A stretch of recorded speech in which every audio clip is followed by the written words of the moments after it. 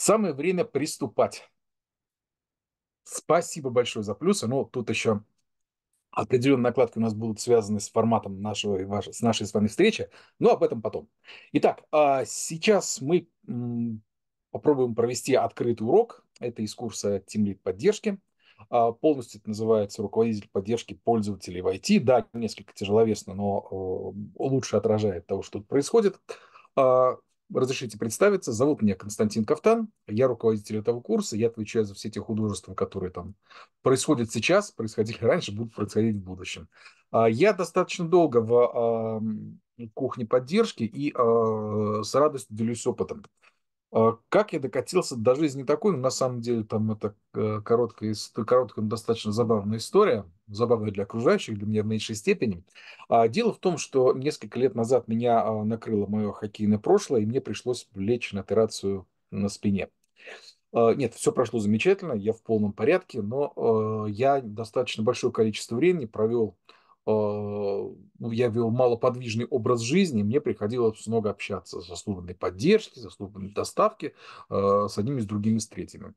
И, и, и я начал э, испытывать через некоторое время то, что называется профессиональное подгорание, не выгорание, подчеркиваю, а под- подгорание, когда ты видишь, что творится какая-то вот ересь, но повлиять на это ты не можешь.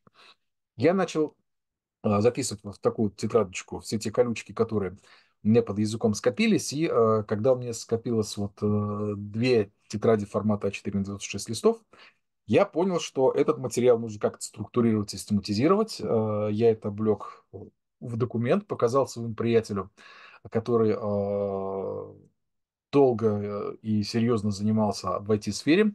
Говорю, слушай, вот э, я хочу написать статью. Он говорит, слушай, тут для статьи много. А, я говорю, ну ладно, я дополню практикой, будет книга. Он говорит, нет, книга скучно. Ну, я уже не выдержал, зачем пришел белый человек, а что ты предлагаешь с этим делать? Он говорит, а ты не пробовал преподавать начать? Ну и, собственно, так это трансформировалось сначала в несколько занятий, потом в целый курс. Курс начал дополняться, обрастать какими-то детальными дополнительными э, занятиями, дополнительными темами, практикумами, и э, он трансформировался в то, что мы имеем сейчас – А, Значит, э, это далеко не первый наш поток, который стартует. Вот этому курсу уже больше четырех лет, то есть он ну, проверен, надежен, надежен и вполне себе пользуется популярностью, заслуженной популярностью и спросом. Итак, о чем мы сегодня поговорим в первую голову. Э, Спасибо всем, кто нашел время а, в предвыходной вечер а, поговорить, э, время и желание поговорить о делах насущных.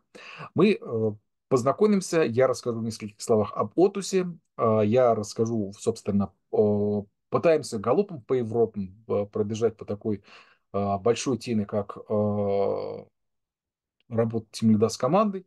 А, Спойлер, на самом курсе под это отведен целый блок а, из нескольких занятий. Я познакомлю а, в двух словах с командой курса, с преподавателями курса, а, поговорим о программе курса и а, в качестве бонуса коллеги из Отуса подготовили карьерную информацию о том, что хотят работодатели и что они взамен нам готовы предложить, поскольку ну, за талант нужно платить по отдельному прейскуранту, не надо стесняться этого требовать.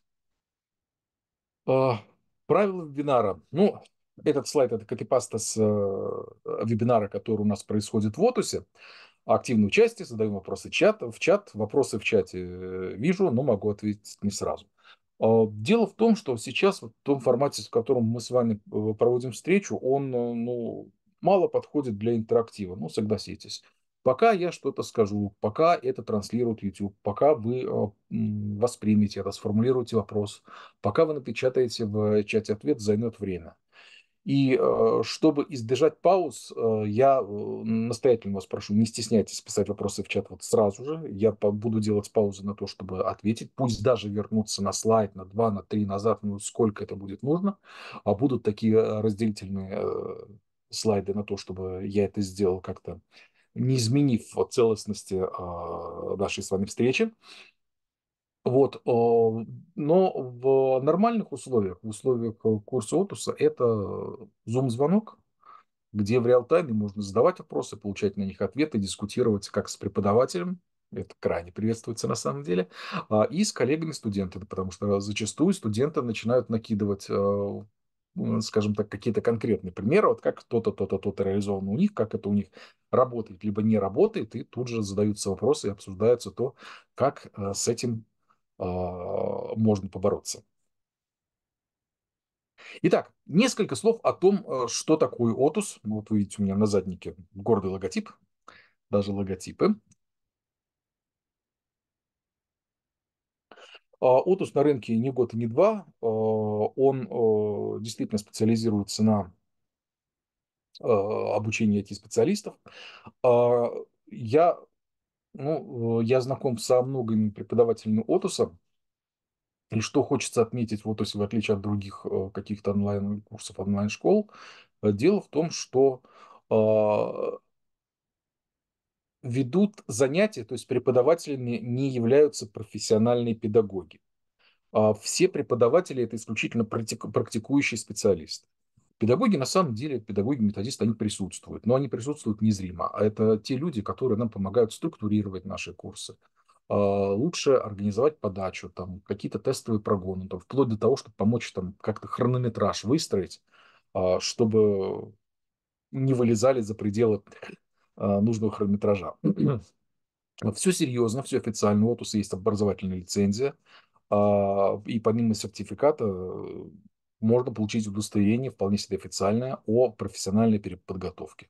Ну и опять же, поскольку э, если ну, многие студенты проходят этот курс за свой счет, и поскольку это образовательные расходы, можно получить налоговый вычет.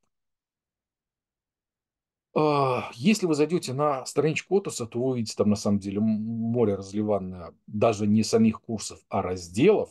То есть там а, от программирования до управления, от геймдева до аналитики, там, информационная безопасность, дата сайенс, который сейчас достаточно интенсивно развивается. А, там много различных направлений и много различных уровней. То есть вот вы видите, оранжевым шрифтом отмечено, что вот от джуниора до лида все можно поднять, прокачать свои скиллы. Прошу прощения, немножко простудился. Буду брать тайм-аут на прокашляться. А, вот, э, то есть э, для себя всегда можно что-то найти интересное. Э, несколько циферок.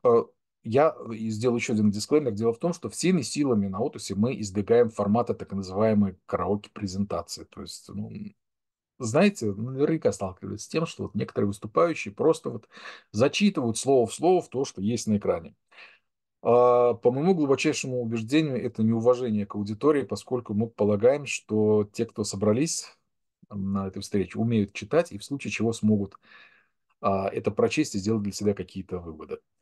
А, да, большое количество курсов, да, большое количество преподавателей, причем отдельно остановимся на том, что преподаватели мы э, занимаемся тем, чтобы подтягиваем к себе новых людей, профессионалов, которые готовы поделиться своим опытом. Причем в ряде случаев э, тянем из-за того, что опыт какой-то специфичный, какой-то вот яркий, который какой-то неординарный, который вот кроме этого человека вряд ли кто-то сможет рассказать. А, как я говорил, не первый год а, на самом деле Отус э, занимается образовательной деятельностью. Э, количество выпускников и количество участников комьюнити, извольте видеть, все на экранах. Итак, сейчас перейдем к делу. Я а, от всей души постараюсь провести занятия так, чтобы вот не было позывов э, лечь вздремнуть. Вот. А, но опять-таки, а, очень рассчитываю на то, что будут какие-то вопросы, будет какая-то обратная связь в, в чате, чтобы не уснул я. Ну что ж, к делу. Поговорим мы на самом деле о трех таких э, блочках э, ну, мы определимся с тем, э, как нам формулировать требования к будущим коллегам, кандидатам. То есть поговорим о подборе, поговорим о том, как обучаем и оцениваем, и коснемся вскользь такой методы, как SMART, постановки задач. Э, если вдруг кто-то сталкивался с методой SMART, плюсаните в чат, чтобы мне было понятно, насколько подробно нужно остановиться на этой конкретной теме. Чего ради мы вообще взялись за э, то, чтобы сделать целый блок, даже не занятие, а блок в нашем курсе, э, посвященный работе тимлида с командой? Ну, не секрет, что, э, в принципе, это работа HR. А, но, э, не везде и не всегда у подразделений есть такая роскошь, как выделенный HR. У подразделений поддержки, как, э, у подразделения, которое в большинстве случаев рассматривается как дотационного, это, э, ну, вот просто вот, э, единичные случаи, как в моей практике, так и, наверно, в вашей. Но тем не менее, э, эт никто не отменяет того, что какую-то часть работы с персоналом, э, приходится вести самостоятельно. Дело в том, что HR, профессиональный HR, он видит эту материю, ну, если угодно, то, как бы не помпезно звучало, с точки зрения науки. Потому что у этого человека 5 лет профильного образования, у него профильный опыт. Он проходил, э, э, специализированные какие-то дополнительные курсы подготовки. Он вращается в профессиональном сообществе и там обменивается информацией, получает какие-то новые интересные данные оттуда. У нас, к сожалению, такого а, такого бэкграунда нет, но, э, это наша работа. Мы смотрим, будем смотреть на это с точки зрения ремесла. То есть вот у нас есть какой-то фронт работ, который надо бы сделать хорошо. А, зафокусим тогда такую материю, как требования к кандидату.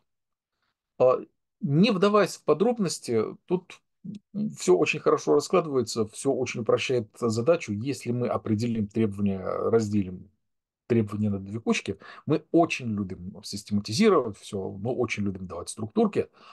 А, и, а, если разбить требования на обязательные и желательные, жизнь станет проще.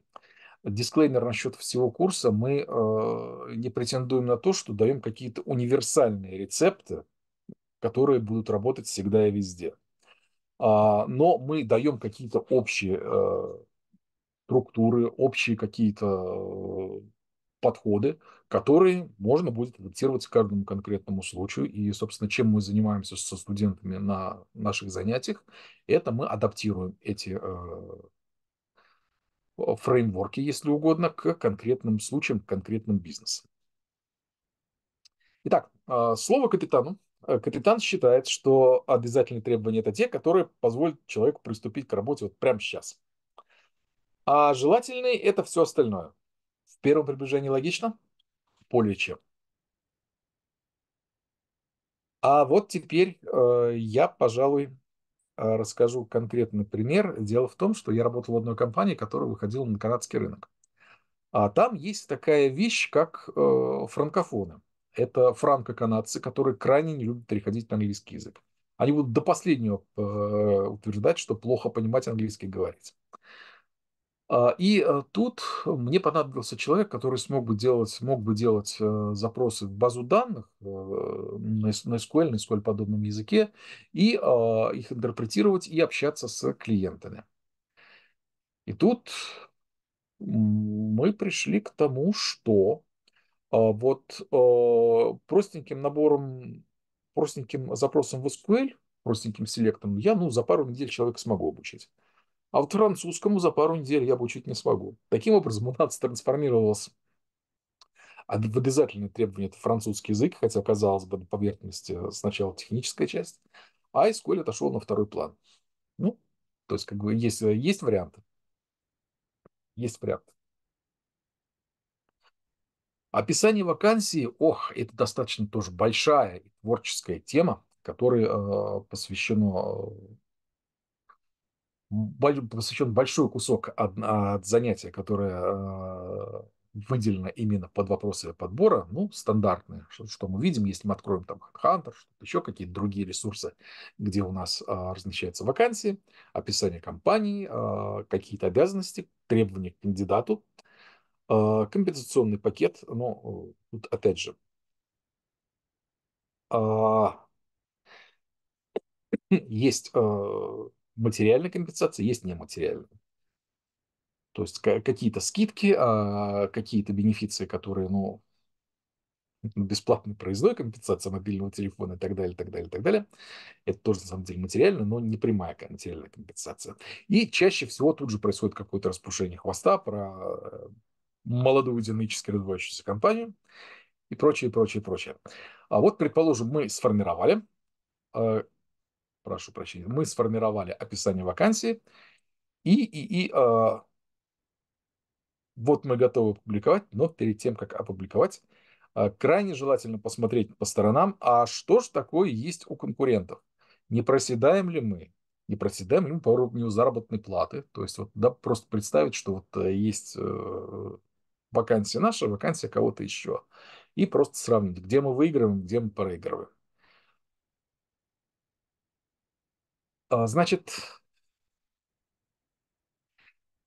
а после размещения а, объявления, опять-таки, мы продолжаем а, наблюдение за тем, что происходит. А, где мы разместили объявление, мы следим за потоком, регулярно обновляем или, по крайней мере, подтягиваем в топ и а, смотрим по сторонам. Вот а, я хочу привести в пример. Я, можно сказать, начинал свою карьеру в информационных технологиях в компании Paragon Software. Не знаю, может, слышали про нее. Дело в том, что она была расквартирована в, там был офис в городе, Долгопрудном и э, неподалеку оттуда в черте города Москвы. И там э, дело в том, что было очень много стартовых вакансий, и компания гонялась за молодыми талантами. А молодых талантов э, эта компания ловила в физтехе, физико-техническом институте, и э, там вот э, большее количество удачных э, кандидатов, причем не только на такую должность, как поддержка, но и на того, кого сейчас называют журнальной разработки, на какие-то стартовые позиции. А очень много людей приходило, когда вот на борду института вот просто вешали бумажное объявление, и они попадали в, в поле зрения студентов. Это работало очень замечательно, очень хорошо. И, э, собственно, вот зачем я это рассказываю? Для того, чтобы а, для того, чтобы подсветить, что вот на headhunter.ru жизнь не заканчивается, она есть и за его пределами. А, значит, я не буду дублировать э, ту, всю ту массу рекомендаций, которые а, как проводить интервью. Значит, э, потому что вот на самом курсе есть отдельное большое-большое занятие. Я лишь подсвечу то, что тут крайне желательно, поскольку вы руководитель, а, обращать внимание на то, а сработается ли кандидат, сработается ли этот человек э, с остальными коллегами. А, я, к сожалению, на эти грабли как-то раз наступил, я не обратил внимания на то, что ну вот просто вот э, по темпераменту было видно, что человек очень отличается от остальной команды, и он, э, особенно вот от одного из ведущих специалистов, и вот с ними они через достаточно короткий период стали как кошка с собакой. У меня тогда была роскошь того, что можно было развести этих людей по разным проектам, и э, они просто друг с другом контачили меньше, чем обычно. А, но, тем не менее, я считаю, что вот это, это мне был щелчок по носу. Еще есть такая вещь, это кто-то считает рудиментом, кто-то использует до сих пор. А, стресс-интервью. Третий пункт. А, что это за зверек? Э, это у нас, э, если совсем коротко, это когда э, соискатель, человек, который собеседуется, ставится в некомфортные условия. В чем это выражается? Это загоняется темп интервью, интервьюер постоянно на что-то отвлекается, постоянно кто-то заходит, а интервьюер перебивает кандидата. А, значит, из плюсов это было в моде в большой моде, до, до, до, ну, не скажу, что достаточно давно, но так э, несколько лет назад э, для проверки стрессоустойчивости кандидата. Но тут есть, есть такая неприятная вещь, что кандидат может экстраполировать вот этот вот негативный опыт на всю, на всю, на всю компанию, в которой предстоит работать. А, и даже если в конце вот вы сказали, что вот да, приносим извинения. На самом деле у нас так не работает, у нас так э, не принято. Мы просто смотрели, насколько вы э, хорошо или плохо себя проявляете. Человеку может это очень сильно не понравиться, он может развернуться и уйти. Так, а, появились вопросы. Э, Татьяна спрашивает, можно ли считать групповое собеседование стрессовым? Ну, смотрите, по определению, поскольку это вводит человека из какого-то э, комфортного состояния, когда вот беседа на одного человека, на двух, и когда против него такой вот целый хор сидит, Это да, это скорее э, некоторый стресс. Вопрос, Андрей, является ли техническая часть стрессовой для кандидата? Зависит от того, как провести. Можно посмотреть, как человек там э, пишет те же самые SQL-запросы, пишет э, какой-то перевод текста, который вы хотите, чтобы он сформулировал на иностранном языке вежливо. Если постоянно перебивать его, сбивать с толку, то это станет стрессом. Но все-таки желательно не мешать одно с другим и посмотреть отдельно э, профессиональные компетенции, технические компетенции и какие-то его личностные качества.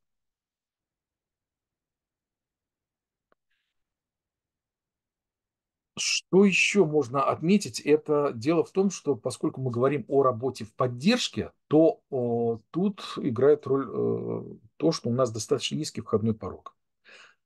Э, мы не требуем обычно много, мы не можем требовать большого количества лет профильного опыта, ну, хотя в, ря- в некоторых случаях, когда мы говорим о третьей линии, о второй линии, когда уже требуется технический бэкграунд, мы можем это спросить. Но если мы усредним по сравнению с другими отделами департаментами, то в поддержке, как правило, вот таких требований жестких к опыту, э, к серьезным хардскиллам, они значительно ниже. И тут мы ожидаем, что вот из-за этого у нас будет э, хороший поток резюме. А мы можем будем капризничать э, насчет кандидатов, поскольку нам, помимо всего прочего, еще требуется человек э, для нашей команды. И вот тут а, опять-таки, сомнения следует трактовать не в пользу кандидата. Не нужно стесняться этого делать, и не нужно стесняться транслировать это коллегам из HR, а, чтобы э, избежать недопонимания. Так, а вот а, а что у вас? Это какой-то слайд-разделитель для того, чтобы можно было ответить на вопросы. Но вопросы я, кажется, уже все охватил, которые были. Если вдруг появятся какие-то дополнительные, пишите пишите. В Отусе считается дурным тоном не ответить на вопрос в чате. Пользуйтесь. Поговорим про такую материю, как учебные материалы.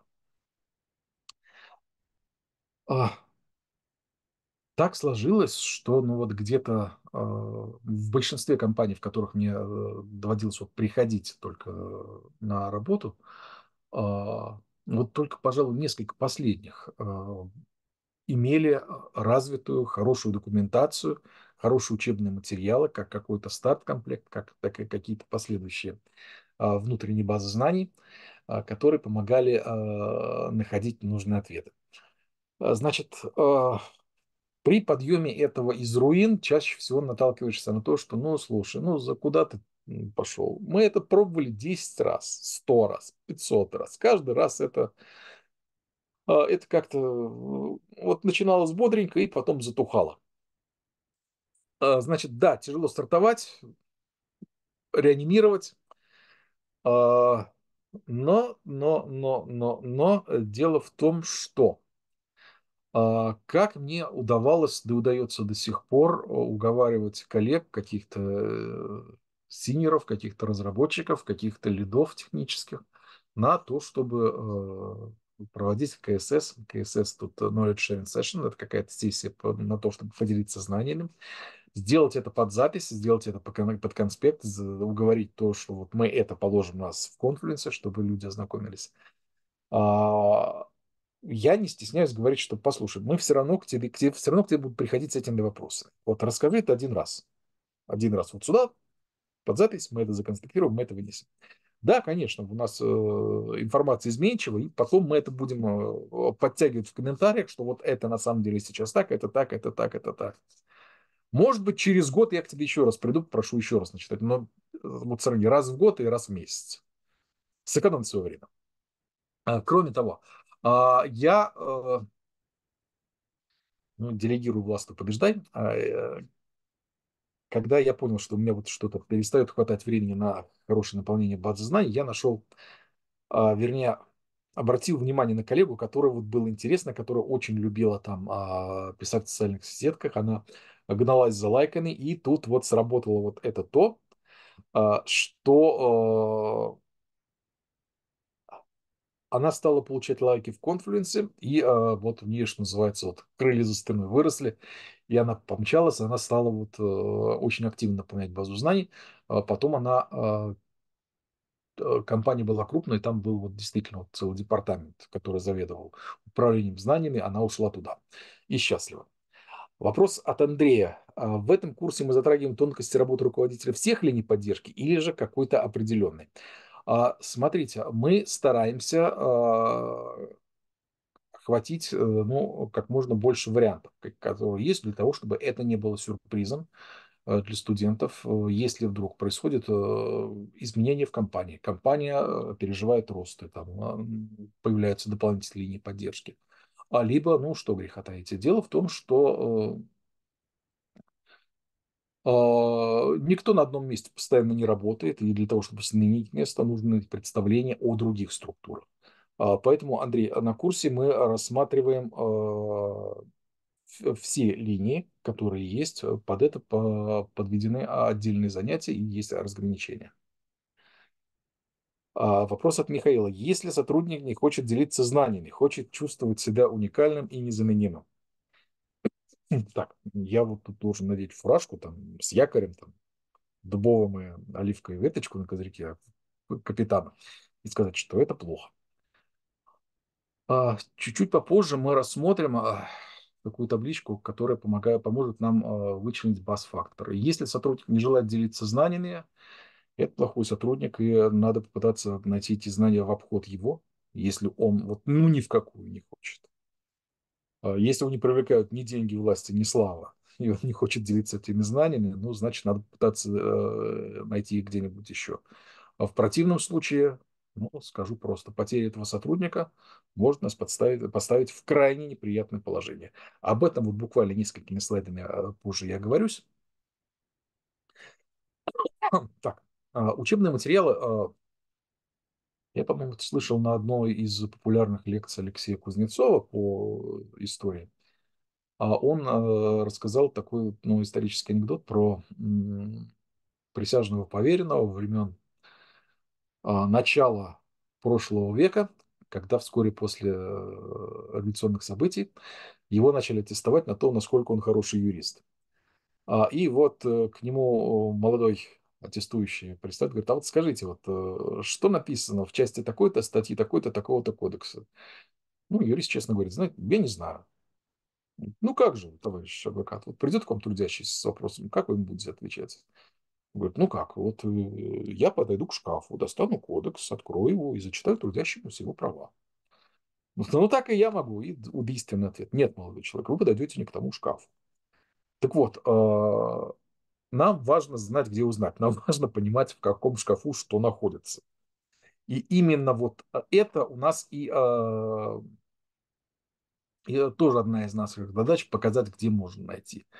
Практически все занятия а, подкреплены какими-то ссылками на дополнительные внешние материалы, где можно почитать дополнительные данные по той или иной материи. Еще раз приношу извинения за вокал. Мне время от времени придется прокашляться. А, какой еще один хороший побочный эффект мы получаем от а, развитой базы знаний, внутренней базы знаний. Мы сейчас говорим про базу знаний, которая для нас, для нашей команды, которая внутри компании. А, это а, хорошая часть адаптационного плана, а, чтобы ты, чтобы вот, э, человеку можно было сказать, ты должен вот знать вот это, это, это, вот, вот, у нас, вот у нас какой-то базовый курс, который ты должен освоить. Значит, э, в качестве антипримера в одной из компаний я видел, что вот э, адаптационный план, он там в, назывался «Атплан» сокращенно. Вскоре его пришлось переименовать в «Адский план», поскольку там все можно было трактовать бог знает как. А именно, в чем у нас ловушки формулировок? Вот э, как мы оцениваем? Вот в адском плане было написано «уметь пользоваться инструментом X». Прекрасно, но кое-чего не хватает. А, а вот если мы скажем, что уметь с помощью инструмента X сделать Y, становится понятнее. Согласитесь. Почувствуйте разницу. То есть э, в адаптационном плане вот именно нужно говорить, что вот что именно человек должен иметь для того, чтобы была прозрачность, для того, чтобы человек сам понимал, вот, что где он буксует, вот, что нужно подтянуть. Но опять-таки, к какому шкафу идти, это тоже необходимо. А, небольшой такой коротенький э, хинт, совет, то, чем я очень люблю пользоваться. А после того, как человек проходит испытательный срок, я ему запрещаю задавать вопрос, а вот что мне делать в такой-то ситуации? Вопрос должен звучать следующим образом. Сложилась, сложилась такая-то ситуация, и я хочу поступить так-то и так-то. Мотивируем мы это тем, что человек уже прошел испытательный срок, что у него есть голова на плечах. Он это доказал. И что наверняка у него, э, по крайней мере, версия правильного ответа у него есть. Так что пусть он сначала изложит, пусть приложит какие-то усилия. И э, вот э, дело в том, что вот это очень, на самом деле, как бы она просто, как бы она не банально звучала, но эта вещь с точки зрения э, развития человека, она действует очень хорошо, очень эффективно и достаточно быстро. Ну, опять-таки, почувствуйте разницу в вопросе. Так, а, а что у вас? Это слайд-разделитель. Так, я на все вопросы, кажется, ответил. А, коснемся такой э, вещи, как э, метода SMART. Слышали про нее? Не слышали? Так, э, так, э, опять-таки с небольшим гапом пришел вопрос. Татьяна, пожалуйста, э, э, уточните, а вторым вариантом чего злоупотребляет сотрудник? А, дело в том, что вот метода SMART очень хорошо работает для постановки задач. Ну, это аббревиатура, а, которая подразумевает, что задача должна быть конкретной, а, результаты должны быть измеримы, результаты должны быть достижимы, они должны быть, ну, релевант, уместность, ну, тут э, все-таки это, да, несколько многословно не влезет на слайд, но это какая-то вот, э, какой-то эффект от задачи. А, насколько эта задача э, практична, что она нам принесет, чтобы у человека не было ощущения, что он делает работу в стол. Ну и таймбаунд – это ограниченность во времени, должны быть сроки.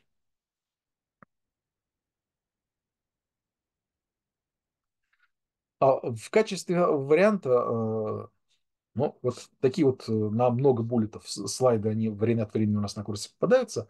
А тут я должен сразу же чуть-чуть забегу вперед. Вам позволю прочитать самостоятельно, чтобы не устраивать здесь караоке. А, дело в том, что по окончании каждого занятия а, у студента в личном кабинете остается на долгую добрую память материалы с каждого из занятий. Это вот этот вот, э, эта презентация, которая прилагается к занятию как основной материал, и, и, и, а, и видео вебинара, которые проходят э, со всеми вопросами, со всеми ответами. В некоторых случаях, когда интенсивно используется чат, прилагается еще и запись чата. А, раньше мы прилагали, а, делали видео доступными для загрузки, но у нас начали настолько интенсивно пиратить, что руководство Отоса достаточно быстро пришло к выводу, что нет, так неинтересно.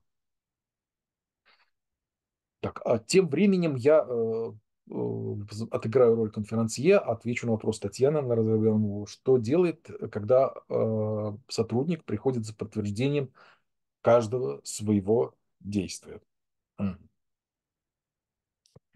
Так, ну тут, судя по всему, сотрудник либо в чем-то не уверен, либо он хочет засветиться по части перед светлое руководство. Смотрите, что я, что я делаю. Тут надо понять, что именно вот какой из этих вариантов наиболее э, похож на то, что происходит, и сделать выводы. Э, если вдруг действительно человек вот проявляет неуверенность, то тут э, это повод для разговора, для того, чтобы сказать, что попробовать донести, аккуратно донести до человека, кругом все-таки люди, мы должны как-то относиться к ним тоже по-человечески. А, и, и, и а, сказать, что вот э, тут, кажется, не хватает самостоятельности, и нужно понять, в чем дело. Откуда эта неуверенность? Неуверенность в своих знаниях?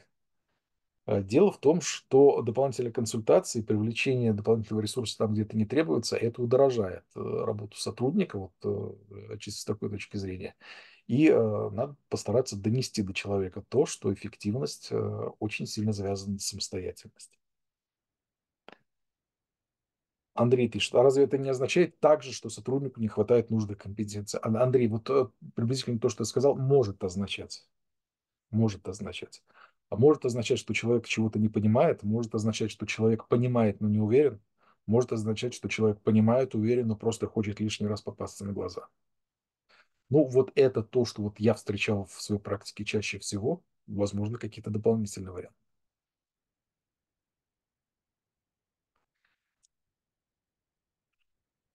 Что касается э, синков с командой, значит, э, методом пробок и ошибок после многих лет я пришел к выводу, что тут э, требуется и какой-то синк команды. Я это проводил раз в неделю, проводил, провожу и собираюсь дальше проводить раз в неделю. А, и а, раз в неделю один на один с каждым из сотрудников. А, значит, э, ну, тут тоже по капитанию скажу, что вот еженедельный консилиум – это какие-то общие объявления, какие-то новости компании, которые, быть может, до каждого сотрудника по той или иной причине не стали доводить. А какие-то мероприятия, может быть, которые мы сами хотим провести среди компаний. Какой-то ну, высший бюджет на тимбилдинг. Можем сходить на бильярд, условно. И еженедельно один на один проводится для того, чтобы, ну, я вам рассказывать, что есть э, вопросы, которые люди не хотят, не могут э, вводить на один на один. Предположим, что-то изменилось в жизни, требуется изменение в графике. А предположим, э, он хочет поговорить о пересмотре ставок. Такое обычно ну, на всю Ивановскую, там на весь коллектив не распространяется. Вот это вот хороший, хороший хорошая площадка для таких разговоров. Ну, кроме того, ну, уверен, что все в курсе такой простой истины, что а, похвалить лучше перед всеми, а сделать замечание, за исключением того, что произошло что-то критичное, что что-то уже вот очень-очень нехорошее, а замечание лучше сделать один на один. Так, Андрей и Татьяна подтвердили, что ответ на вопросы получено. Так, но Задам вопрос. Э, не думали к нам на курс записаться? У нас э, на все вопросы отвечаются гораздо оперативнее. Так вот, а, значит, э, смотрите, а, тут от Михаила был вопрос насчет того, что про а, сотрудника, который не хочет делиться компетенциями. Есть целое занятие, которое веду я. Вот тут вот я буквально пару слайдиков я просто закину, потому что время у нас ограничено, и хочется очень сильно а, растекаться мыслью по древу, с учетом того, что все-таки день предвыходной, там, наверняка некоторые уже на низком старте, на то, чтобы начать выходные. А, значит, а, я приведу в качестве примера компании, которая занималась программатикой. То есть это э, продажа рекламных мест на сайте. Ну, то есть когда-то давным-давно в замшелые времена было круто прибить гвоздями к сайту X, вот, ну, какой-нибудь, ну, скажем, баннер коммерсанта или как, какой-то ну, крупной биржи, или там какого-то банка. То есть вот, э, показать там э, кому-то, вот смотрите, вот мне на сайте вон кто рекламируется. Сейчас это действует практически всегда по-другому. Браузеры заранее следят с разной степенью бессовестности, и они обычно знают э, пол, приблизительный возраст, откуда мы, ну, может быть, чем интересовались раньше. А, в соответствии с этим как происходит? Вы заходите на сайт, и пока сайт прогружается, а вместе с его содержанием прогружаются так называемые отслоты. То есть такие вот облачки, которые зарезервированы под рекламу. Пока они грузятся, сайт говорит, господа, вот у нас такой-то, такой-то человек а с такими-то, такими-то данными, оттуда, оттуда, пол такой-то, такой-то, возраст такой-то, такой-то. Хотите показать рекламу? И дальше происходит аукцион. Все это происходит очень быстро, пока грузится страница. И, собственно, происходит аукцион, и э, в ряде случаев, то, и, э, вернее, показывается та реклама, которая более подходит.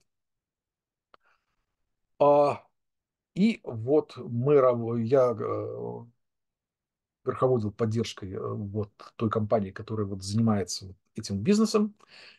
А, и у нас был ряд задач, они все в левом столбце. Ну, так, обязательно переведу на русский в следующий раз. А, значит, общая диагностика, а, диагностика а, делового трафика, то есть там, где уже была заключена какая-то сделка между ресурсом и кем-то еще, там приоритетная продажа от слотов была. Мы утащили у э, коллег, э, у девопсов мониторинг ключевых метрик при деплоях и тестирование новых интеграций, новых партнеров, которые к нам пришли. Дальше. У нас есть некоторое количество инструментов, и мы посмотрели, какой инструмент нужен для каждой вот из этих вот задач. То есть мы потихоньку подтягиваем к тому, владение какими компетенциями требуется для того, чтобы выполнять те или другие задачи. И давайте посмотрим. Ну, так сложилось, что у нас э, коллеги были следующие. Бэтмен, Джокер, Флэш Иванов. Итак, а, значит, э, что и что? USlicer – это кубы данных, графит. USlicer а, смотрит исторические данные, графит смотрит данные в реальном времени. BigQuery – это наши большие логи. Графана – это большое количество графиков, опять же, в реальном времени, и э, что-то, что можно сделать в админском UI для того, чтобы изменить э, текущее положение дел.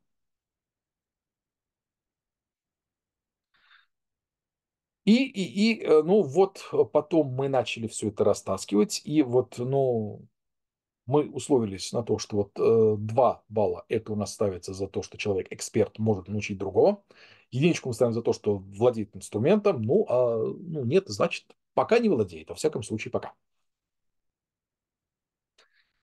И дальше мы все это растащили и посмотрели, как у нас все это выглядит. А вот здесь вот э, разбиты манипуляции, ну, 3 из 4. Вот, а, и, и, и а вот тут серенький подкрашено то, что для той или иной э, сферы деятельности не обязательно. Давайте посмотреть, давайте смотреть.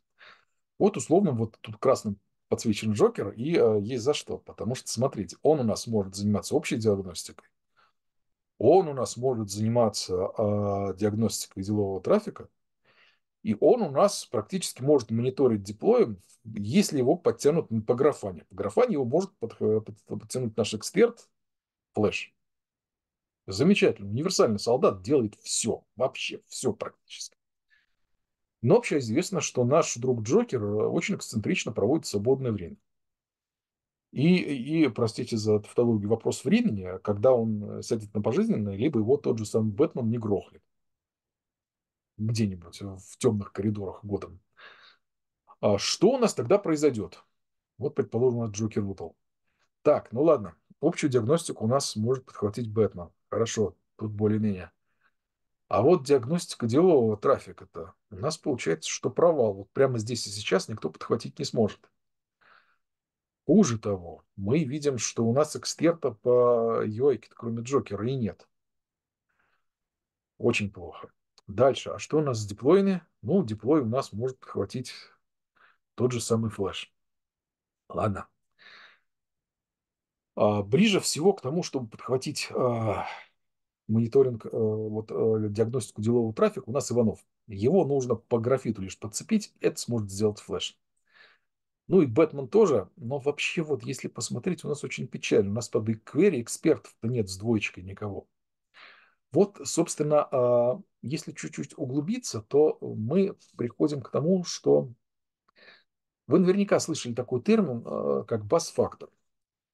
А, термин это такой полушутливый, но на самом деле он говорит такой серьезной вещи, как, ну, если дословно, то, предположим, есть безумный автобус, который сбивает вашего сотрудника, и вот сколько сотрудников ваших должен сбить этот автобус для того, чтобы вас э, один из секторов стал колом. Задача э, оказалась под угрозой. И чем меньше значение этого бас-фактора, бас-фактор единичка, это означает, что вот очень много компетенций в секторе на одном единственном человеке. Бас-фактор один – это плохо, это надо всячески избегать. Так, Михаил, это э, затрагивает в том числе и вашу проблему, если сотрудник не хочет делиться знаниями. Если совсем коротко, это опасно. Кроме того, э, смотрите, вот э, такие вещи, как э, вот такая вот э, матрица компетенции, э, она очень хорошо нам э, позволяет делать ревью. Это оценить, насколько хорошо э, человек э, выполняет тот или иной пул задач. По сути дела, опять-таки, позволю вам прочесть эту длинную-длинную вещь. А, Это опрос. Это опрос э, наших коллег, наших сотрудников. А как вы считаете, тот или иной а наш сотрудник, тот или иной Джокер, справляется со своими обязанностями?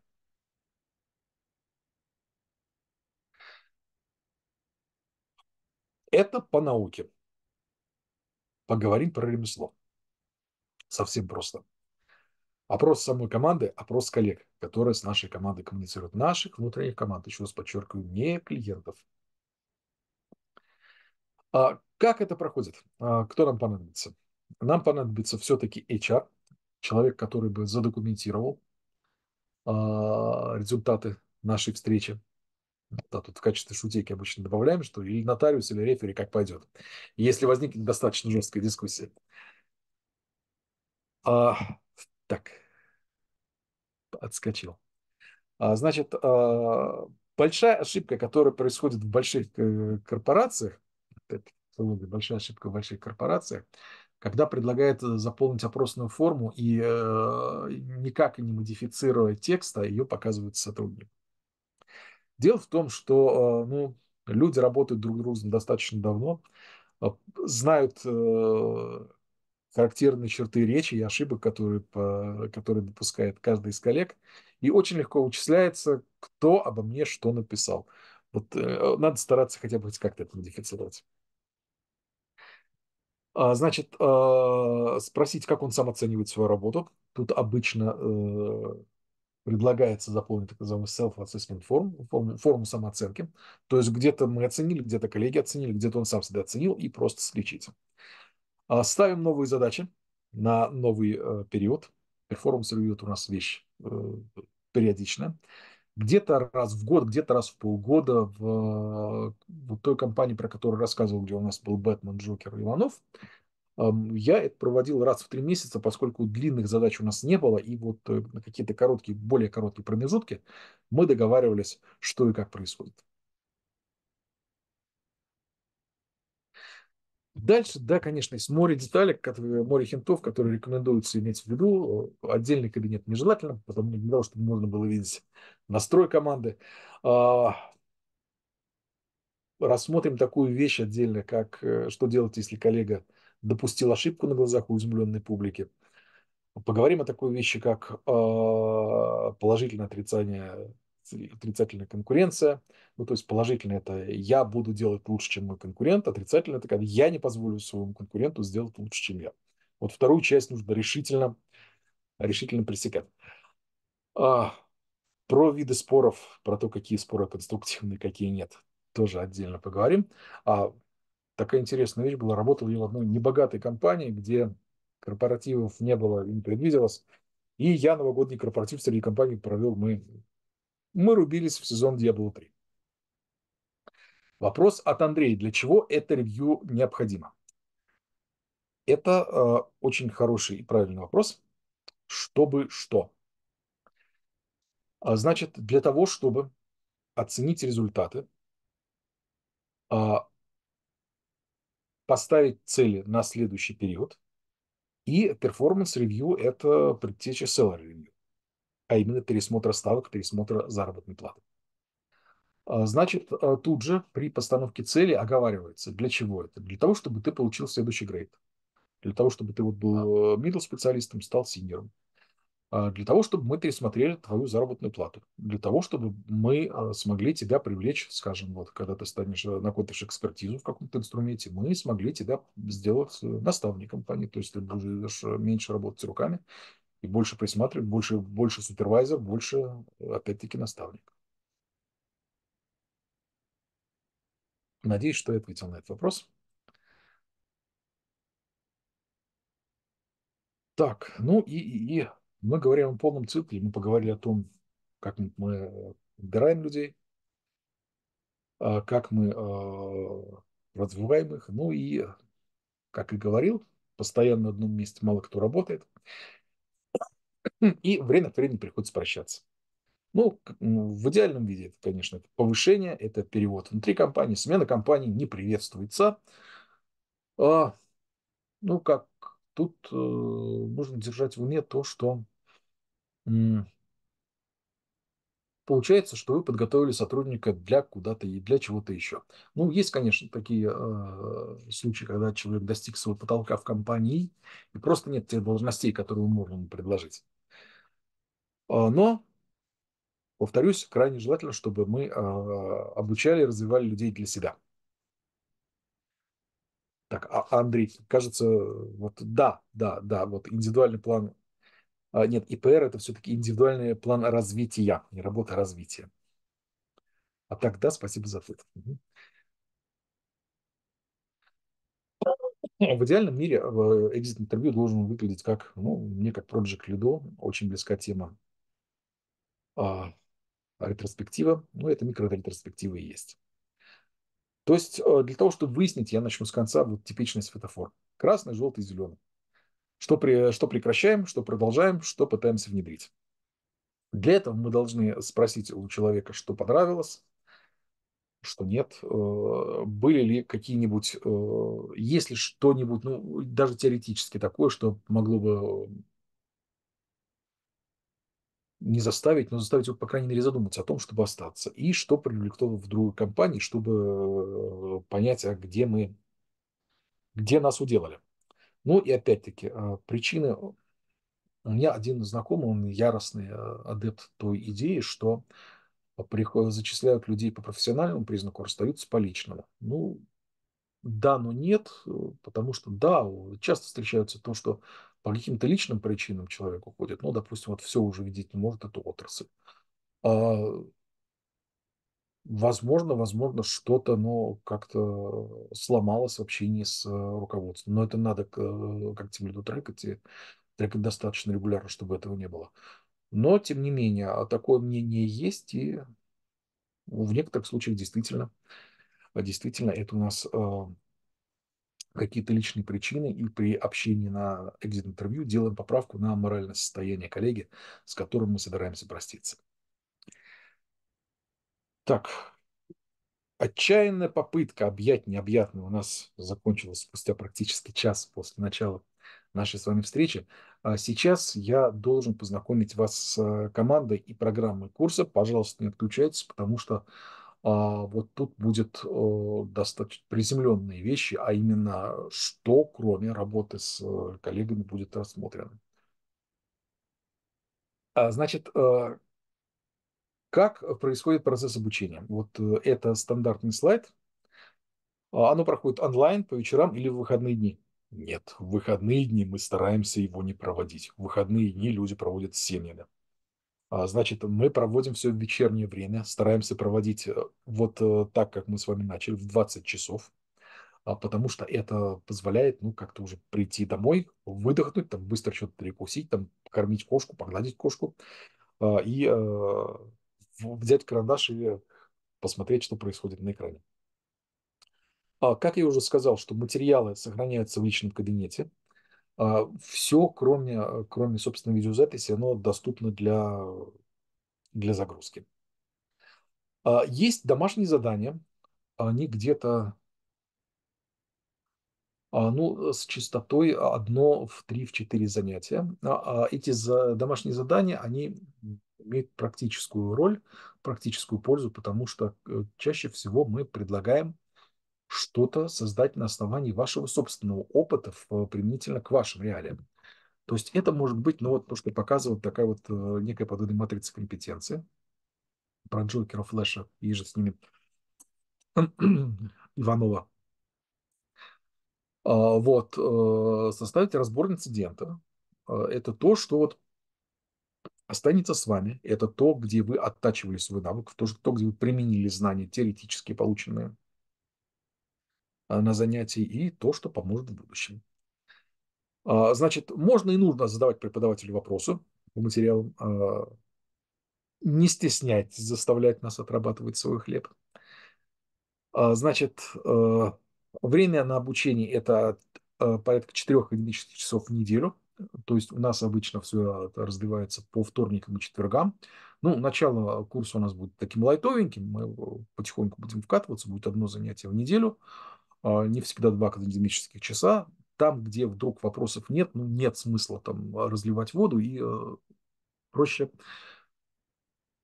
проститься с студентами.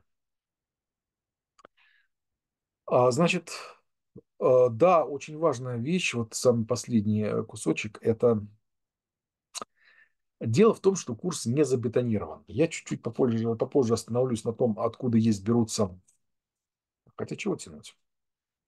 А, дело в том, что у нас курс не забетонирован, даже тот, который у нас стартанет вот в ближайшее время. А, перечень занятий, он ну, не конечный. А, потому что ну, мне не составит труда вспомнить э, курсы, где мы делали демо-занятия по каким-то темам, которых у нас до того не было. Откуда они берутся? Это что-то новое на рынке. А это какие-то вот грабли, на которые э, кто-то наступил, кто-то на рынке, кто-то из преподавателей в своей практике, кто-то из студентов обозначил случай, который желательно было бы разобрать.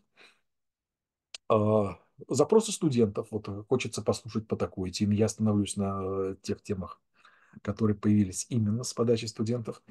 И, и, и ну что греха таить, это у нас э, то, что у нас проскакивает в описании вакансий, в описании вакансий наших работодателей.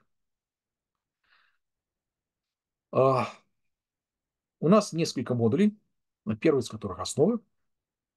Первое занятие – это введение, где мы познакомимся а, Второе занятие будет про классификацию клиентов. Тут, э, ну, секрет Полишинеля. Подход клиент всегда прав, безнадежно устарел. Клиент прав ровно на ту пользу, которую он нам приносит. Грубо, но правда, как говорил один киноперсонаж. Дальше, soft skills. А, то, что появилось э, с подачи, э, с подачи работодателей. Мы чуть-чуть подальше, когда начнем рассматривать те требования, которые сейчас есть на рынке, ITIL требуют сейчас многие. Дальше. А мы поговорим о типичных и атипичных задачах поддержки и разберем такую вещь, как постмортом. Постмортом у нас это разбор инцидента. Дальше проведем занятие по Knowledge Center Service. Это подходы к структурированию баз знаний. Поговорим о внутренних базах знаний, как их реанимировать, а какие есть способы, методы, какие есть структурные, какие есть структуры. Следующий модуль – это структура элемента поддержки. У нас ITIL выплеснулось в целых два занятия. Мы поговорим о каналах поддержки, о линиях поддержки. Отдельным занятием у нас появилось сравнительно недавно – это общение саппорта и тестирование. Мы поговорим о тикет-трекинговых системах. Ну, тут э, на самом деле вот у нас до сих пор продолжаются жаркие споры, как это занятие проводить. Дело в том, что когда мы э, рассматривали конкретные решения, то мы получали упреки в том, что, ребята, а почему вы рекламируете одних и так гнобите других? И мы сейчас, мы отошли от этого, мы рассматриваем некоторого сферического коня, в вакууме, вернее, не сферического коня, а что нам могут предложить эти решения, чего мы вправе от них требовать, как составлять какие-то требования и как вести себя с продавцами, потому что эти ребята достаточно ушли. Третий модуль работы Тимлида с командой. А, это вот 8 занятий э, вот впихнуть в э, час, ну, сами понимаете, не получится.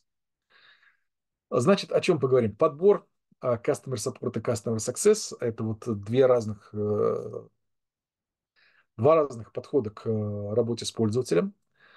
А, один реактивный, другой проактивный и так далее, и так далее, и так далее. По каким метрикам они оцениваются – а, где одни, где другие, и ну, ча- часто бывает так, что они не разделяются, на самом деле работают в одной структуре. Обучение и развитие один на один. Дальше. Одно из недавно появившихся занятий – это синдром самозванца для э, людей, которые недавно пришли на должность, и выгорание для тех, кто на должности очень давно. Мы поговорим об увольнении, очень важное занятие, которое, э, для которого мы достаточно долго искали преподавателя, эксперта. Это тонкость управления э, персоналом в законодательном аспекте. Потому что есть такая вещь, безобидная, есть такая организация с безобидным с видом названием трудовая инспекция, у которой есть э, ну, санкции, ну как предупреждение. А вот второй вид санкций – это приостановка действия компании сроком до полугода вообще полностью деятельность компании может быть парализована. Так, и, и, и а вот э, сюда же э, мы положили, поскольку это вот больше про общение с людьми, это урегулирование спорных ситуаций с клиентами. А дальше поговорим о циферках. А, сюда мы вынесли работу колл-центра, то, как он оценивается. А дальше два занятия целых по метрикам. Это про качество клиентского сервиса, это и еще одно занятие про доступность и затраты в работе поддержки. И целое отдельное занятие будет по матрице компетенций с практическим э, блоком и с домашним заданием, где вы сможете практиковаться самостоятельно вот э, в составлении именно этого вот артефакта. И последний модуль у нас будет проектный. В качестве проекта мы, э, мы долго спорили и думали, что лучше сделать, и мы сошлись на том, что мы предложим нашим студентам сделать э, и провести некоторую презентацию чего-то, чего они бы хотели а, показать руководству, как бы они хотели улучшить работу э, своей команды с помощью тех знаний, которые они э, обрели у нас на курсе. Тут, да, будут консультации, будет и все остальное. Мы приведем в пример примеры некоторых проектных работ. Э, дело в том, что эм, многие студенты после этой презентации получили добро на какие-то преобразования, и после э, успешного проведения он их получили пересмотр ставок и грейдов. Это важно. Так, ну, давайте подойдем к... Познакомлю вас с преподавателями курса. А как и занятия, состав преподавателей у нас э, может расширяться, потому что но вот э, если вдруг появляется возможность, и у нас и окно у эксперта провести какое-то дополнительное занятие, мы обычно недолго думаем, прежде чем, э, перед тем, как пригласить человека к нам на курс для того, чтобы он нас что-то прочел. Прошу прощения. Так у нас появился, кстати, появилось занятие по саппорту QA, так у нас появилось занятие по э, тонкостям работы тимлида в правом аспекте. То есть э, мы нашли звезд, с которыми, кстати, познакомили, они стали нашими преподавателями на постоянной основе, но все началось с демо-занятий. Так, ну, про себя я уже рассказал, можно я больше не буду. А, Сергей Харитонов. Это а, наш а, эксперт по ITIL, который может рассказать по нему много чего интересного. Э, как исторически, э, как это развивалось, э, фреймворк, как он выглядит сейчас. И главное, не стесняйтесь спрашивать его, а надо ли мне получать сертификацию. В ряде случаев работодателям достаточно просто знакомства. Галина Баранова. Ну, она у нас, не у нас, она, в принципе, уже достаточно давно операционный директор успешно проработала в нескольких компаниях, и вот там то, что касается метрик, ну, тут лучше эксперта я не встречал. Алексей Кирсанов и а, Андрей Волков у нас ведут занятия по а, работе с а, командой. Вот тут на самом деле, что интересно, вот эти ребята даже близко не HR, они технари. И вот у них занятия проходят очень интересно. Любовь Данилова, я горжусь тем, что сумел и уговорить э, читать у нас курс э, по саппорту QA. А, небольшое отступление. Любовь Данилова автор и э, долгое время руководила курсом по QA в Отусе. То есть вот представляете, каких звезд удается привлекать к нам. Лилия Гельмудинова очень искали этого специалиста для того, чтобы она у нас прочла курс по а, работе колл-центра. Вот 10 лет в карман не спрячешь. И э, этот опыт, э, вернее, та совокупность опыта разных абсолютно организаций, где она оставила колл-центра, э, позволяет просто творить чудеса. Светова Мария. А, это человек, которого я подтянул э, к преподаванию сначала как э, э, по трудовому законодательству, потом синдром самозванца и выгорание, и, в общем-то, такие вопросы, которыми вот, где нужен человек, который очень долго, очень долго а, занимался именно такими вопросами. Поговорим про карьерную информацию. Время потихонечку у нас э, заканчивается, поэтому, чтобы не задерживать, постараюсь быть кратким. А что удалось э, поиском накопать? Значит, э, 544 вакансии. По состоянию я, мне эти данные прислали, по-моему, неделю, нет, 10 дней назад. 10 дней назад. Это, в принципе, температура в больнице, это не только HeadCounter, это и LinkedIn, и другие какие-то ресурсы, где ребята посмотрели. 544 в России. Почему не стали делать градацию Москвы и региона? Потому что сейчас, в принципе, это бессмысленно, с учетом того, что нас, насколько у нас процветает удаленная работа. Медиана за зарплатных ожиданий, что ну, специалист поддержки 80, middle 120, senior 250. А, значит, а, от себя замечу, что э, специалист поддержки, руководитель службы поддержки с серьезными хардскиллами, там, где требуется ну, знание каких-то серьезных а, хардовых материй, либо условных хардовых, таких как э, понимание протокола OpenRTB, там может переваливать за 300 и э, приближаться к 400 тысячам рублей в месяц. А, так, ну, э, извольте видеть, э, какие сочетания тут у нас есть и что предлагают, какие сочетания спроса и предложения. А, значит, э, один из этого пока, пока, во всяком случае, не трогаем. А, насчет работы руководства команды у нас целый модуль про это. Опыт. Ну, вот дело наживное. Режим многозадачности, но это скорее какой-то ритуальный, где требуется везде. Так, ну и опыт э, работы с э, системой технической поддержки пользователей – это то, что у нас в тикет-трекинговых системах. А, смотрим дальше. Тут система сервис Desk, Desk, то, что у нас в, вынесено в отдельное занятие. SLA – это то, что у нас в ITIL. Отчетность, мониторинг, управление ключевыми показателями – это про метрики. Дальше, без зарплаты, но тем не менее. Прошу прощения. А, так, так, так, так, так, так, так, так. А, тут больше, во-первых, э, я вот себе наверное, поругаюсь, потому что за него зарплата без зарплаты есть такое общее описание сюда приоттачили. Вот, вот тут техподдержка уже более-менее. А причина следственной связи – это, скорее всего, разбор инцидентов, то, что у нас будет в постмортеме. ITL, ITL, ITSM – это то, что господин Харитонов у нас ведет. Helpdesk – то, что у нас обязательно будет. Ну, дальше какие-то технические вещи, которые а, можно и подхватить. А, снова ITL, ITSM. Ну вот, собственно, ITIL ITSM у нас и всплыл после того, как мы поняли, что это пользуется популярностью среди преподавателей, среди работодателей, простите. А, значит, наш курс э, стартует новый поток 19 марта, еще не поздно.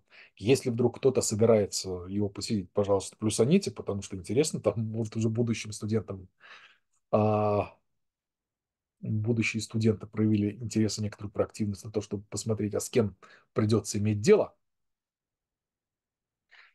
А и дальше моя святая обязанность. Дело в том, что у нас после каждого, после каждой встречи, после каждого занятия а, мы просим студентов, посетителей заполнить вот такой вот опрос.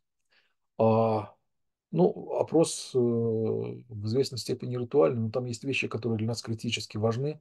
Это такие вещи, как, к примеру, качество звука, э, качество э, изображения, потому что когда какой-то интершум, какие-то помехи лезут на трансляцию, лезут на запись, это нехорошо. Ну что ж, я благодарю вас за внимание. Очень рад, что вы нашли время перед длинными выходными еще раз вспомнить о работе. Всем спасибо. Так, секундочку. Нет, не всем спасибо. Вопрос от Андрея. Как сохранить и продолжать развитие по хардскиллам, несмотря на то, что большую, времени, большую часть времени занимает управление отделом? А, Ну да, время, время, время, время- самый драгоценный ресурс. А, я скажу по себе, что когда я подтягивал, ха хард-скиллы, а, я некоторое время работал без выходных. Выматывает, но оно того стоит. А, Михаил советует делегировать своему заму. Да, ну нет, Михаил. Дело в том, что, э, индустриальный стандарт- это 60 времени, если ты тимлид, это у тебя работа с командой. Но, по крайней мере, часть делегировать можно. Ну и Андрей правильно говорит: если постоянно делегировать, он меня заменит. Риски, риски, риски, еще раз риски. Да. То есть желательно всё-таки выкраивать свое время время так, чтобы не терять авторитета и не терять, э, именно контроль. Приятно удивлен тем, что желание дискутировать и задавать вопросы не потухло до самого конца встречи. Очень надеюсь увидеть вас на курсе. Всего хорошего, хороших выходных. До свидания.